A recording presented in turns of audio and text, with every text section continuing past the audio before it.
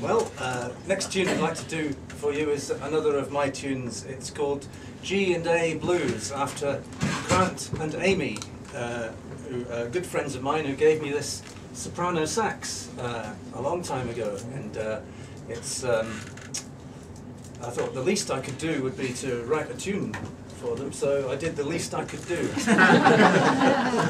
uh, this is the result. And uh, it's uh, yes, it's uh, it's got it's not really a blues, but it has a bluesy feeling to it. G and A blues. This will also be the loudest number we're going to play tonight as well. So. Yes, Yes. I'm afraid this is. Uh, it does have quite a quite a capability for a high volume, I must say.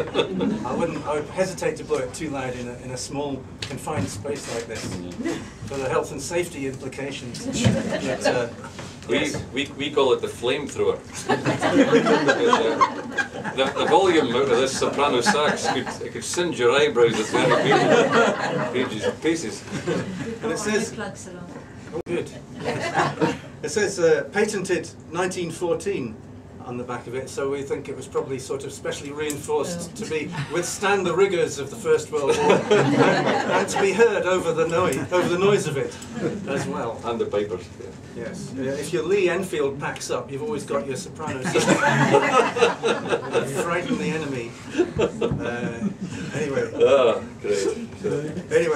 digress as usual. We often do. Sorry about this. Okay. G and A blues. Yes.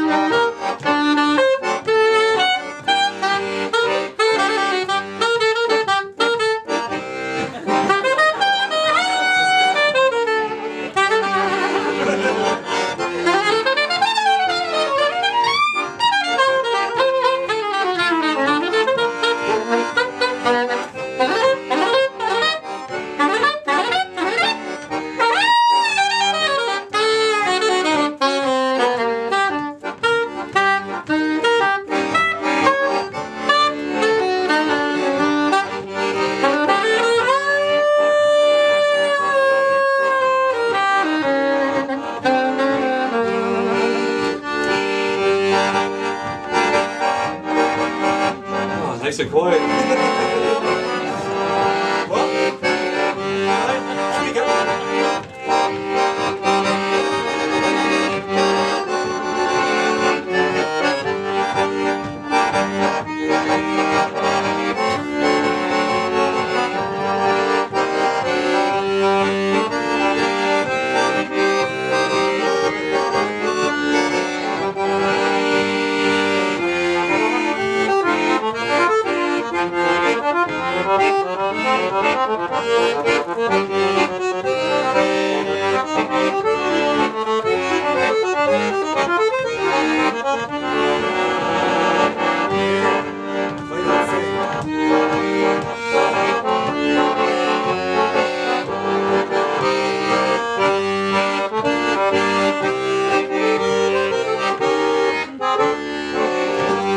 Thank you.